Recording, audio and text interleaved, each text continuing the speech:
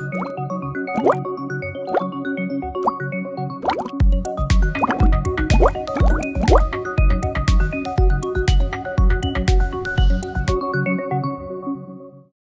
ազատության հյուրն է բարձր տեխնոլոգիական արդյունաբերության նախարարի պաշտոնակատար Հայկ Չոբանյանը, բարև ձեզ, պարոն Չոբանյան։ Բարև ձեզ։ Շնորհակալություն հրավերն ընդունելու համար։ Պարոն Չոբանյան, սահմանին լարված իրավիճակ է եւ եկեք հարցազրույցը սկսենք ձեր ղեկավարած գերատեսչության զինված ուժերին վերաբերող հատվածից, ռազմաարդյունաբերական համալիրից սկսենք հարցազրույցը։ Հատկապես Ներողություն 44 օրյա պատերազմի ընթացքում մենք տեսանք, թե որքան կարևոր է ժամանակակից սպառազինություն ունենալը։ Պատերազմից հետո ինչ է արվել ընդհանրապես այս ոլորտում։ Ես կփորձեմ հնարավորինս այն չափերով, ինչով հնարավոր է հրաապարակային լինել, այս հարցի վերաբերյալ խոսել, հնարավորինս հանգամանալից, բայց 44 օրյա պատերազմը մեր արչև նոր մարտարավերներ եւ սկզբունքներ դրեց աշխատանքային եւ դրանց մեջ էր մտնում նաեւ այս հարցերում առավել արմատական եւ հետեւողական լինելը։ Այն առումով, որ մենք հասկացանք, որ այն գործողությունները եւ այն ջանքերը, որոնք որ գործադրվում են ոլորտում եւ այն ուղղությունները, որոնք որ համարվում են այս առումով մեզ համար գերակա, դրանց բավականին խորը վերանայման խնդիր կա եւ քաղաքական եւ քանակական եւ որակական առումով։ Խոսքը վերաբերում է նրան, որ այն ուղությունները, որոնք որ ռազմավարական էին Հայաստանի ռազմաշնաբերության զարգացման ուղղությամբ, դրանք պատերազմի արդյունքներով, պատերազմի ընթացքով վերանայման կարիք ունեցան եւ այս ամիսների ընթացքում պատերազմից հետո ընկած ժամանակահատվածում առաջինը բավականին մեծ են եղել քննարկումները, ռազմավարական, մարտավարական քննարկումները այս ուղությամբ, երկրորդը էապես մեծացել են ռազմաշնաբերական ոլորտի ծավալները եւ պետական միջամտությամբ եւ պետական բյուջեի շրջանակներում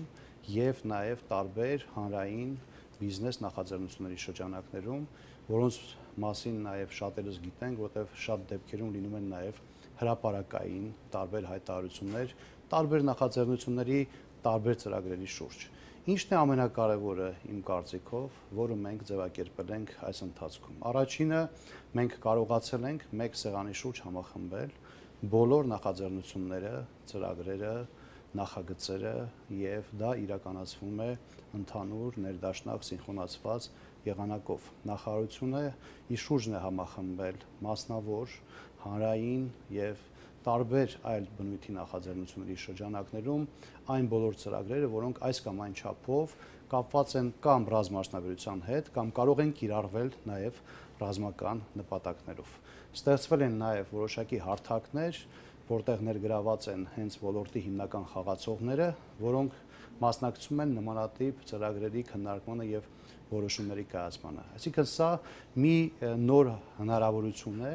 որը որ մասնակից է դարձնում ոլորտի հիմնական խաղացողներին, որովհետև դրանք որոշակի սահմանափակ թվով մարդիկ են եւ շատ կարեւոր է, որ այս ուղղությամբ պետական կառավարման համակարգին եւս իրենք որոշակի մասնակցություն ունենան, կլինի դա խորհրդատվական, կլինի դա էքսպերտային, կլինի դա ուղակի մասնագիտական, որովհետև դրանք որոշ մասերով նաև գիտահետազոտական կամ փորձակոնստրուկտորական աշխատանքներ են։ Եթե համեմատենք նաև պետական բյուջեի ծախսերը վերջին շրջանում մենք կտեսնենք էական տարբերություն մինչև 44 օրյա պատերազմը այս ուղղությամբ ֆինանսավորված ծրագրերի եւ 44 44 օրյա պատերազմի ընթացքում եւ պատերազմից հետո իրականացված ծրագրերի միջև Եթե թվերից խոսենք, ես նայում եմ պետբյուջեով ռազմաարդյունաբերական կոմիտեին որքան գումար է հատկացված, Օրինակ 21 թվականին հատկացվել է 4.5 միլիարդ դրամ, ինչը անգամներով տարբեր է 16 թվականի համեմատ։ Այս թվերը ինչպես կարող եք բացել, որքան որ հնարավոր է, ինչ է նշանակում այս ավելացումը, սա միայն գիտահետազոտական ուղղությունների համար է նախատեսված, ինչ ինչ կարող եք ասել։ Ну, որպես կանոն, գիտեք, բյուջետային գործընթացը առաջին փուլում կախված է պլանավորումից եւ այդ պլանավորումները կատարվում են ելնելով նաև ռազմաճնաբերական համալիրի ներուժի կարողություններից։ Այո, դրա մասին կարող ենք հստակ խոսել, որտեղ դրանք հրապարակված տվյալներ են եւ դա առաջին հերթին խոսում է մեր ներուժի անընդհատ աճող հնարավորություններից, դա նշանակում է, որ այսօր մենք կարող ենք սպասարկել ավելի շատ նմանատիպ պայմանագրեր, քան սպասարկում էինք 1 տարի առաջ կամ 2 տարի առաջ եւ այս տենդենսը պետք է շարունակվի։ Երկրորդը պայմանավորված է նաև պետություն եւ մասնավոր հատված եւ այդ կազմակերպությունները, ռազմաճնապարհական կազմակերպությունների փոխհարաբերությունների հետ մենք արդեն կարողանում ենք կնքել երկարաժամկետ պայմանագրեր այս ընկերությունների հետ, որը հնարավորություն է տալիս, որ เป զի իրենք ավելի երկարաժամկետ պլանավորեն նաև իրենց արտադրությունները, թվում կապիտալ ներդրումներ կատարելով եւ ավելի մեծացնելով իրենց արտադրական հնարավորությունները։ Երրորդը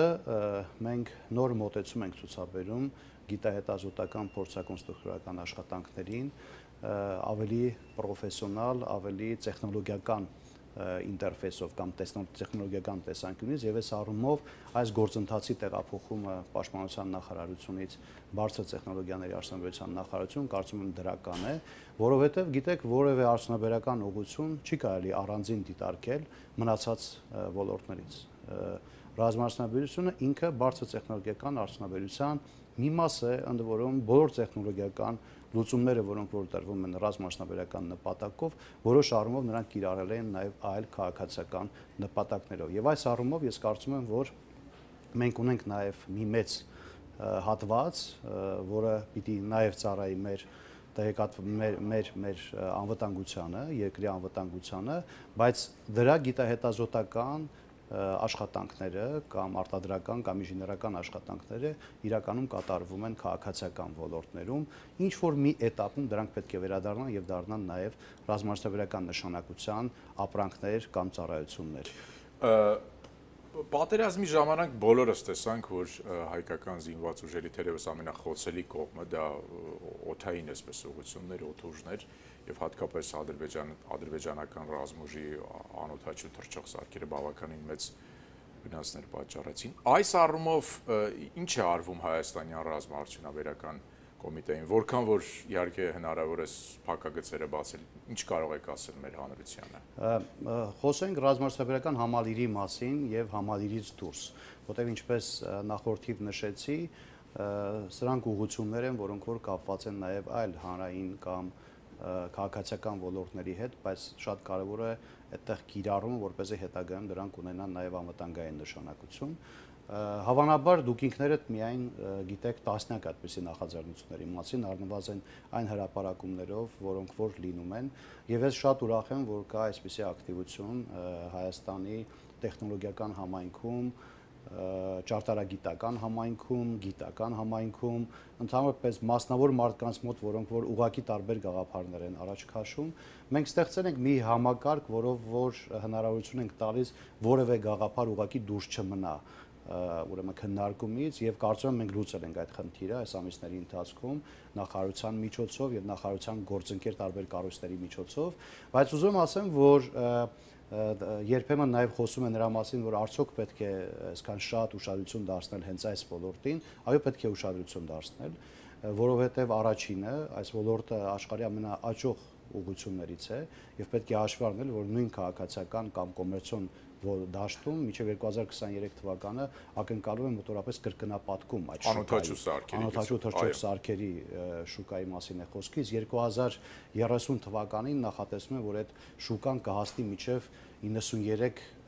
միլիարդ դոլարի դա հսկայական ծավալ է որը որը առնվ 15 անգամ ավելի 20 անգամ ավելի շատ է, քան թե այսօրվա շուկան, այսինքն պատկերացրեք եւ դա պետք է սпасարկել։ Եվ ակնհայտ է, որ այս զարգացումները եւ այս ինժեներական եւ արտադրական հետաքրությունը, որ հայկական բարձր տեխնոլոգիական ոլորտում կա, դա պետք է բավարարի ոչ միայն Հայաստանի անվտանգության խնդիրներին, այլ նաեւ տարբեր քաղաքացիական կոմերցիոն խնդիրների, որոնք եւս կարևոր են։ Ինչ վերաբերում բուն ռազմական նշանակության լուծումներին, ես և, կարծում եմ, որ այստեղ շատ կարևոր է կրկին սինխրոնիզացիան այս բոլոր իրականացվող ծրագրերի, որտեղ դա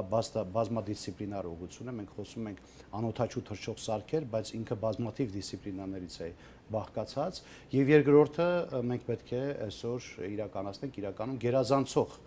տեխնոլոգիաներ, տեխնոլոգիական մշակումներ, ոչ թե ոչ թե կրկնօրինակման, այլ գերազանցող լուծումներով, այդ թվում բնականաբար այս այս թեմաների հսկայական մասը կամ հիմնական մասը պետք է պետք է լինի գաղտնի եւ չպետք է նաեւ խոսվի դրա մասին։ Իդեպ ասեմ, որ մենք վերջին շրջանում այդպիսի ոչ ենք նաև ворթեգրել, չխոսել հնարավորինս ռազմաշնորհության մասին եւ առավելևս կոնկրետ լուծումների մասին եւ առաջին ելքը կամ ներկայացումը Հայաստանի ռազմաշնորհական համալիրի կլինի 2022 թվականի մարտի վերջին, երբ որ Հայաստանում տեղի ունենա հերթական ռազմաշնորհական ցուցահանդեսը։ Ուզում եմ առանձնահատուկ նշել նաև կրթական ոլորտում այս ուղղությամբ իրականացվող ծրագրերին, որովհետև ոլորտը գիտելիքի մասին է եւ ես չափազանց կարևորում են հատկապես հանրակրթության մեջ կամ դպրոցահասակ երեխաների շրջանում այս ուղղությամբ դրսևորվող ուրեմն տարբեր տարբեր ակտիվ նախաձեռնությունների եւ առաջին հերթին պետք է խոսեմ իջերական լաբորատորիաների հենքի վրա դպրոցներում անօթաչու թռչող սարքերի լաբորատորիաներ ստեղծելու գաղափարին, որը որը իրականացնում է առաջատար տեխնոլոգիաների ծրագրերի միությունը, առաջին լաբորատորիան տեղադրվեց Տավուշում։ Ես կարծում եմ, որ նաև մեր աջակցությամբ պետք է այս ծրագիրը շատ արագ առաջ ընթանա, որտեղ ինչպես նշեցի, ինքը պետք է ոչ միայն մեր անվտանգային խնդիրները լուծի, այլև լուծի նաև աշխարհի խոշոր տեխնոլոգիական պահանջարկը այս առումով, որ առաջիկա տարիներին պետք է լինի եւ իմ երախտիկը բոլոր նրանց, ովքեր որ այս ուղությամբ ջանքեր են թափել եւ շարունակում են թափել։ Ման Չոբանյան, ձեր գլխավորած գերատեսչությունը կարծես պատասխանատու է նաև կիբերանվտանգության ռազմավարության մշակման համար խոսում է, որ պետք է կիբերանվտանգության գործակալություն ստեղծվի Հայաստանում։ Կարող եք մի փոքր մանրամասնել ինչ է նշանակում այս ամենը, ինչով է զբաղվելու այդ գործակալությունը։ Աշխարհը արդեն բավականին վաղուց այս թեման կարողացել է ձևակերպել առայն, որ տվյալների անվտանգությունը, տեղեկատվական անվտանգությունը ինքը ոչ պակաս կարևոր ռազմական, հենց ռազմական նշանակություն ունի երկրի համար անվտանգային տեսանկյունից, ինչպես որ սովորական, ասիկան զինված ուժերի մեր կողմից, այսպես կամ այսպես ասենք, հա ներողություն 20-րդ դարի զինված ուժերի համակարգը 21-րդ դարի զինված ուժերի համակարգում մեր կողմից նշված տարբեր տեխնոլոգիական նորամուծություններով հանդերձ շատ առաջնակարգ դեր պիտի ունենա տեղեկատվական անվտանգությունը կամ կիբերանվտանգությունը այն բոլոր խորություններով, որը որ պահանջում է երկրի անվտանգությունը, ներառյալ միջև կիբերզորքերի ստեղծումը։ Մեր կողմից այս փուլում իրականացվում է ռազմավարական եւ մարտավարական փաստաթղթերի մշակումը, առաջիկայում նաեւ կներկայացվի Հայաստանում կիբերանվտանգության գործակալություն ստեղծելու առաջարկությունը եւ ես համոզված եմ, որ սա նոր քայլ կլինի մեր երկրում այս համակարգերի զարգացմանը խթանող միջավայր ստեղծելու, հարթակ ստեղծելու գազམ་ակերպություն, որը պատասխանատու պիտի լինի ստանդարտների իրականացման համար, պատասխանատու, որը պետք է նաեւ մշակ գազམ་ակերպություն, որ նաեւ պիտի մշակի կանոնները, կանոնակարգերը պետք է վերապատրաստի մասնագետներին, մենք գտնում ենք, որ յուրաքանչյուր առնվազն պետական մարմին, ինչ եմ ասում առնվազն, որովհետև ես կարծում եմ, որ շատ շատ կար ժամանակում դա պետք է վերաբերվի նաև հատկապես հանրային ծառայություններ կամ հանրային նշանակություն ունեցող մասնավոր կազմակերպություններին, պետք է ունենան իրենց կիբերանվտանգության պատասխանատուներին եւ պրոֆեսիոնալ կազմակերպություններ, որոնք սպասարկում են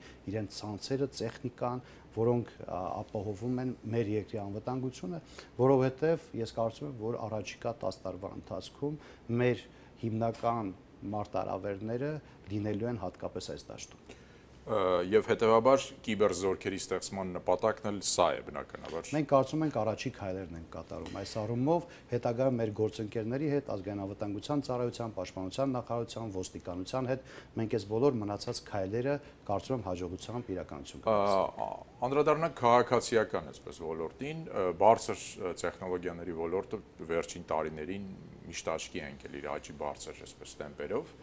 Այս տարի ինչ ինչպիսի թվեր եք դուք սպասում, ինչ կարող եք ասել։ Ես բազմից եմ ասել, որ իմ կարծիքով մեր ոլորտի ներուժը շատ ավելի մեծ է, քան թե այն զարգացման տեմպերը, որ մենք կարողանում ենք ապահովել։ Դրա համար մենք պետք է շատ ակտիվ մասնակցենք մասնավոր նախաձեռնությունների զարգացմանը, որովհետև վերջին շրջանում այստեղ հիմնական ջանքերը թափել են հենց մասնավոր ընկերությունները կամ մասնավոր ոլորտն է հիմնական ջանքեր թափել եւ այս զարգացումները, որոնք որոնք մենք ունենք մեր ոլորտում, մեծապես կախված են մասնավոր կազմակերպությունների, մասնավոր ներդրումային նախաձեռնությունների արդյունավետությամբ։ Իհարկե պետությունը որոշակի կառավարությունը որոշակի քայլեր արել է եւ օրինակներից մեկը, որ ամենա այսպես երկար պատմությունը ունի, դա նորաստեղծ ընկերություններին հարկային արտոնություններ տալն է, որը իր կողմից նպաստում է, որ այս ընկերությունների քանակը մեծանա եւ այն ուրեմն զարգացումները, որը մենք տեսնում ենք ստարտափ ընկերությունների, նորաստեղծ ընկերությունների ոլորտում, բնականաբար պայմանավորված է նաեւ այս օրենսդրությամբ, որը ի դեպ հենց այս փուլում մենք նախատեսում ենք երկարացնել, որտեղ այստեղ ավարտվում է այդ արտոնությունների ժամկետը եւ շուտով նաեւ կառավարություն կներկայացնենք հենց համապատասխան օրենսդրական փաթեթ, որը պետք է ապահովի այս գործընթացի շարունակությունը, գուցե նաեւ նոր գործիքակազմ, որը լրացուցիչ կխթանի նմանատիպ ձեռնարկությունների զարգացմանը, բայց ես կարծում եմ, որ մեծագույն խնդիրը բազմիցս եմ նաեւ նշել, կադրերի ապահովումն է մեր ընկերությունների համար։ Կադրային խնդիրը դա թիմ 1 խնդիրն է մեզ համար ավելի բարձր զարգացման տեմպեր տեմպեր ապահովելու համար։ Կրթական խնդիրն եք դուք բարձրացնում։ Մի կողմից վերաբերում է կրթությանը, մյուս կողմից վերաբերում է միգրացիային եւ միգրացիայի տեսանկյունից միգրացիայի մեջ պետք է հաշվի առնենք, որ մենք նկատի ունենք ընդհանրապես այս շուկաների օգտագործմանը որպես աշխատուժ հայկական տեխնոլոգիական ոլորտի եւ տեխնոլոգիական ընկերությունների համար։ Ինչպես որ մեր ընկերություններն են լինում տեղական մասնաճյուղեր կամ գործընկերներ դրսի ընկերությունների համար, այնպես էլ մենք պետք է արդեն դուրս գանք այլ երկրներ, այլ շուկաներ եւ այնտեղ ստեղծենք մասնաճյուղեր եւ գործընկեր ընկերություններ մեզ համար, որ เป զի կադրային սովը, որը անընդհատ լինելու է, ինչքան էլ մեր կրթական արտադրողականությունը մեծացնենք, չխեղդի մեր արդյունաբերությունը եւ մենք կարողանանք մեր խնդիրները։ Պարոն Չոբանյան, ոլորտի կամ ոլորտում գործող ձեռնարկությունների համար համաշխարհային մրցակցությունը բավականին բարձր է։ Դուք այստեղ գործիքներից մեկը նշեցիք, ասացիք արտոնությունների ժամկետը կառավարությունը մտադիր է երկարաձգել։ Հայաստանի իշխանությունները ընդհանրապես ինչ են անում, որ այդ ոլորտում գործող առաջատար ընկերությունները, ազդեցիկ ընկերությունները, հեղինակավոր ընկերությունները ընտրեն հենց Հայաստանը, ոչ Վրաստանը, Ադրբեջանը կամ Թուրքիան, որտեղ IT ոլորտները, բարձր տեխնոլոգիա տեխնոլոգիական ոլորտները բավականին արագ զարգանում են։ Մենք ինչ ենք անում մեկ քայլ առաջ լինելու համար։ Իրականում դա անընդհատ գործընթաց է եւ բազմա բազմուղի գործընթաց է։ Առաջինի մասին ես արդեն ասացի, դա կրթական ուղղությունն է եւ պատահական չէ, որ այստեղ եւ մասնավոր ոլորտը եւ պետությունը հավասարապ հավասարապես մասնակցություն են ունենում։ Ընդհանրապես մեկ օրինակ բերեմ, որ ասենք արմատ լաբորատորիաների ներդրումից հետո կառավարությունը վերցրել է եւ իր, իր վրա է վերցրել ոչ միայն ներդրման, այլև հետագա սպասարկման շահագործման ծախսեր։ Դա բավականին լուրջ ֆինանսական գործիք է եւ ըստ էության վերջին երկու տարիների ընթացքում 2019-20 թվականներին ներդրվել են արմատ լաբորատորիաների 90%-ը, որը որ վերջին շրջանում իրականացվել է կամ կամ հնարավոր է մի փոքր քիչ, բայց ինչն է կարևոր։ Կարևորն այն է, որ պետությունը առաջին անգամ հանձնարավ ինժեներական լաբորատորիաներ ներդնել Հայաստանի հանրակրթական դպրոցներում։ Եվ առաջիկա տարիներին մեր նպատակն է, որպեսզի բնագիտական լաբորատորիաների հետ միասին դպրոցներում ներդրվեն նաև ինժեներական լաբորատորիաներ։ Եվ ես համոզված եմ, որ առաջիկա մի քանի տարվա ընթացքում մենք այս աշխատանքները կիրականացնենք եւ մի քանի տարի հետո մեր հանրակրթական հաստատություններում բնագիտական եւ ինժեներական լաբորատորիաներ մենք կունենանք բոլոր դպրոցներում, որը հնարավորություն կտա, որպեսզի մենք բարձրացնենք STEM կամ բնագիտական առարկաների, ինչպես նաև ինժեներական հետաքրքրությունը մեր աշակերտների, մեր երեխաների մոտ։ Դա հնարավորություն կտա, որպեսզի ավելի շատ երեխաներ, ավելի շատ պատանիներ եւ աղջիկներ ընտրեն ինժեներական մասնագիտություններ, բնագիտական մասնագիտություններ, որը ամենամեծ խթանն է եւ ամենամեծ խայծն է աշխարհի տեխնոլոգիական հետաքրքրությունը առաջացնելու, որովհետեւ տեխնոլոգիաները եւ խոշոր ընկերությունները այդ ոլորտում գնում են այնտեղ, որտեղ կա մարդկային ներուժ, որտեղ կա գիտելիք, որտեղ կա գիտահետազոտություն եւ այս առումով չափազանց կարեւոր է նաեւ գիտության զարգացման ոլորտում վերջին շրջանում առաջացած հետաքրքրությունը, այդում հանրային հետաքրքրությունը եւ կառավարության արձագանքը մասնավորապես 2022 թվականից այս ուղղությամբ առաջին անգամ ըստ էության էական տեղաշարժ անելու ես կարծում եմ որ մենք շատ քիչ ենք խոսում, բայց բավականին մեծ է լինելու նաև ծրագրային ֆինանսավորման, գիտության ծրագրային ֆինանսավորման բաղադրիչը եւ դա հնարավորություն է տալու առաջիկա մի քանի տարիների ընթացքում մենք էական փոփոխություններ ունենք գիտության, հետազոտության եւ գիտահետազոտական ոլորտում, որը իր հետևից պիտի բերի մրցակցային խոշոր ընկերությունների, որոնք որ Հայաստանում կցանկանան մտնել ձեռնարկություններ բացել կամ ուղակի ներդրողների, որոնք կցանկանան Հայաստանում ներդրումներ իրականացնել, որը ըստ էության մենք արդեն տեսնում ենք մեր ոլորտում։ Մեր մեր մասնավոր ոլորտը ըստ էության առաջի քայլը կատարել է։ Այսօր Հայաստանը, այո, չի կարելի ասել գուցե որ ընդհանուր առմամբ այսպես շատ պայծառ աստղ է աշխարհի տեխնոլոգիական քարտեզի վրա, բայց հավատացեք, մենք այդ քարտեզից դուրս չենք առնվազն եւ պետք է հիմա կապիտալիզացնենք այն ամբողջ իմիջը, որը որ մենք ունենք արդեն, իսկ որոշ ուղղություններով մենք իսկապես աստղ ենք, օրինակ ես կարող եմ ասել միկրոէլեկտրոնիկայի ոլորտում, որը որ բավականին երկար, գուցե ամենաերկար պատմությունը եւ այսպես հաջողված պատմությունը Հայաստանի պատմության մեջ։ Ես կարող եմ ասել, ուրեմն ճշգրիտ ճարտարագիտության ոլորտում եւ որը հատկապես National Instruments ընկերության էական զարգացում ունեցավ 2010 թվականներից հետո ստեղծելով տասնյակ ինժեներական ճշտի ճշգրիտ ճարտարագիտական ձեռնարկություններ, որոնք այսօր այնքան են հասունացել, որ արդեն դնում են ճշգրիտ ճարտարագիտական արդյունաբերության կամ արտադրության ստեղծման խնդիրը իրենց հենքի վրա եւ